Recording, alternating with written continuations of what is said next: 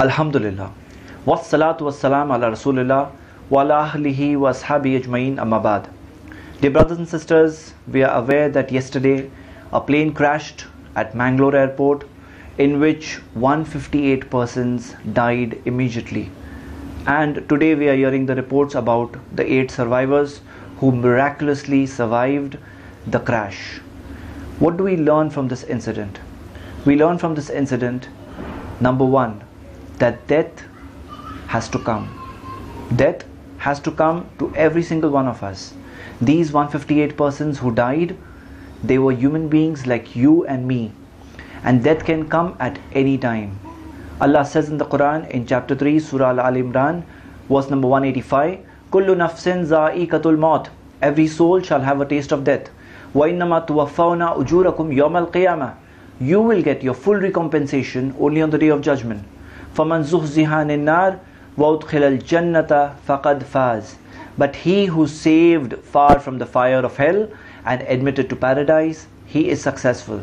وَمَا الْحَيَاةُ الدُّنْيَا إِلَّا مَتَاعُ الْغُرُورِ For the life of this world is not but goods and chattels of deception. Dear brothers and sisters, we learn from this that this life is a test and can end at any time. And that's what happened with our those brothers and sisters who died in that crash. It could have been any one of us. It could have been you, it could have been me, it could have been anyone. And the Quran says in Surah Nisa, Surah number 4, verse number 78, أينما تكونوا يدرككم الموت ولو كنتم في بروج مشيدة Wherever you are, death will find you. Death will find you. Even if you were in towers built up strong. Somebody said to me, he said, that I think we should be now keeping away from aeroplanes.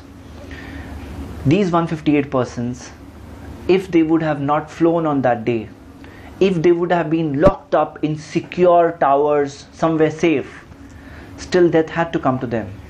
And they had to die even if they were locked up in towers. So, what do we learn from this? We learn, second learning is that when death comes, there's nothing that can stop. And death does not come with an appointment that I'm going to come on so and so day, finish all your work, finish all your things, and then you will die. Rather, it will come unpredicted. Somebody may be going to get married. Somebody's children might be getting married. Somebody was going to finish a deal. Somebody was coming to meet his family.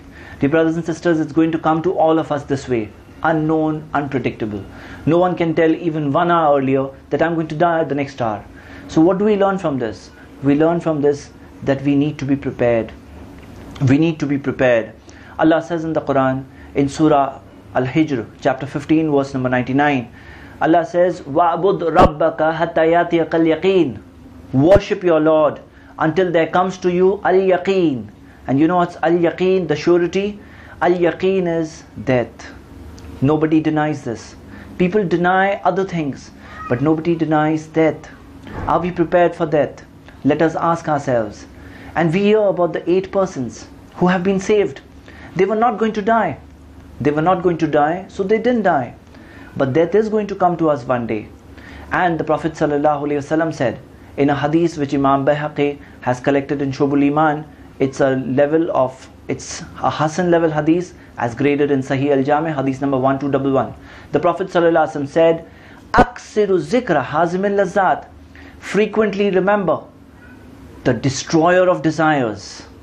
Death is the destroyer of desires. Remember it frequently.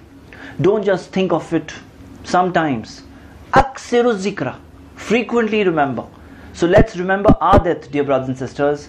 Are we ready to face our Lord? Are we ready with good deeds? Are we ready with correct beliefs? Have we realized the purpose of our life? Have we realized that we are living and we are going to face our Creator? Have we realized that we are not going to live forever and ever?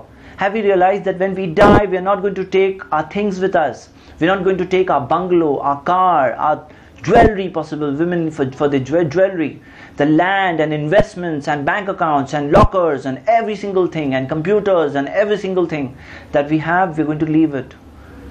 If we were living for these things, surely we would take them with us. Surely these 158 persons also would have taken the things that they had, their cars, their bungalows. But no, it doesn't happen. We leave everything we go away. So are we ready to face our Lord? Are we ready for this? Let's ask ourselves before we find ourselves dead. May Allah subhanahu wa ta'ala guide us to tread on the straight path, to know it and to follow it. Wa akhiru dawana alhamdulillahi rabbil.